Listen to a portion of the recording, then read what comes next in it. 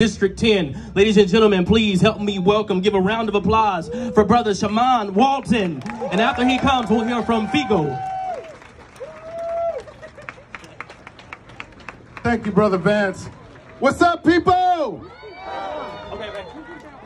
And since we here Sunday with the faith-based community, I want you to turn to your neighbor Come on. and say, black children Black children. matter. Black children. man. Turn to your other neighbor Okay. and say, black babies Black babies. matter. Turn to your other neighbor and say, black people and black lives matter. Turn to the police and say to the police, your badge Your badge does not give you not give you the right the right to kill black people. to kill black people. We are all here because we are angry. And unfortunately, the devastation and the systemic focus on exterminating black men and black people did not start with George Floyd. There is a reason why we started at the killing place of Mario Woods.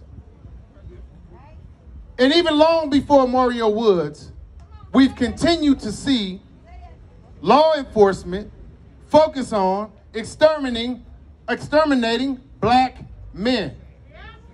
It started in slavery, continued through segregation, continued with mass incarceration, which is still the main focus.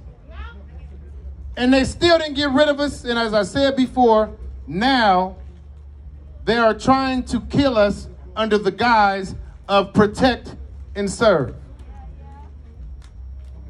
I want to thank Reverend McBride for what he said earlier as he started the march. Because this is to my allies. You cannot continue to support a racist, misogynistic, tyrannic, prejudicial, divisive, ignorant, and then would say something else if this wasn't the faith-based march president and say that you stand with us.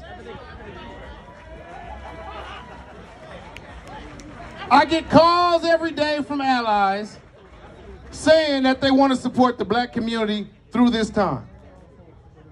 And all we've been asking for for hundreds of years is equity.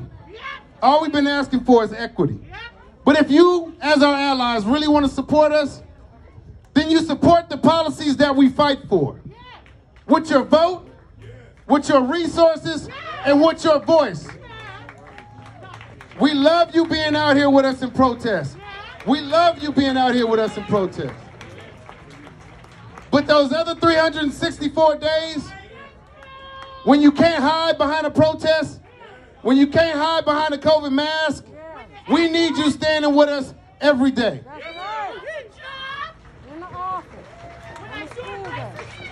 People ask continuously, what are we gaining through these protests? Well, I'm going to tell you. So far, Minnesota is talking about dismantling their police department. The city of Los Angeles is talking about redirecting resources from the police department to the black community.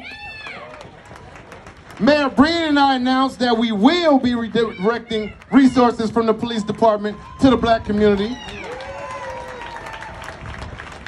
And I want to repeat unapologetically that we will be redirecting resources from the police department to the black community.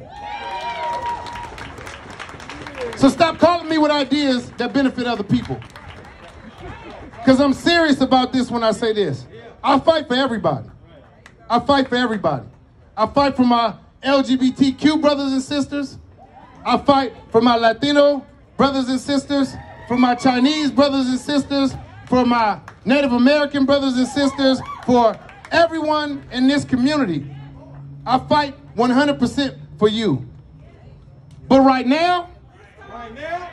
Right now. 400 years of this right now, we are going to prioritize the black community because it is our people that keep getting killed. It is our people that keep being oppressed. Right here in San Francisco. So before I go, because I know we have other people who want to speak, I, I have to say this because we just saw another murder in Atlanta. We saw a murder in Vallejo right after George Floyd was killed. Another young man, Sean Monterrosa, from San Francisco. And this has continued to happen. But there's nothing more devastating when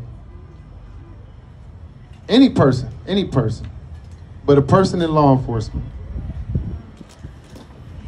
can for eight minutes and 46 seconds. I want you to think about that. That's a long time. For eight minutes and 46 seconds. Leave his knee on the neck of a human being. Of a human being. So when we say Black Lives Matter and you come back with that mantra of All Lives Matter, we're not stupid. We know and understand that. But for you to have your knee on someone's neck for 8 minutes and 40 seconds means you don't give a damn about that life. So when we say Black Lives Matter, we mean stop killing our people. Thank you.